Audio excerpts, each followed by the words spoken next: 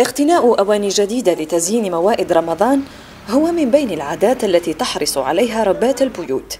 ولأسباب مختلفة تلجأ العديد منهن للأواني الفخارية لإعداد وتقديم المأكولات الرمضانية.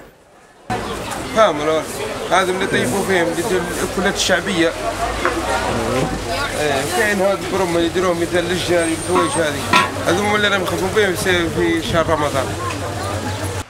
حفاظا على التراث والأصالة تلجأ العائلات بورقلة إلى إعداد الأطباق التقليدية مع الحرص على طهيها في أواني فخارية تضفي على الطعام نكهة خاصة إلى جانب الفوائد الصحية.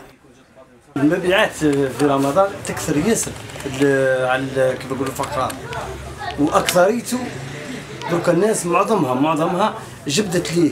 لأنه صحي. الحالات هذه صحي.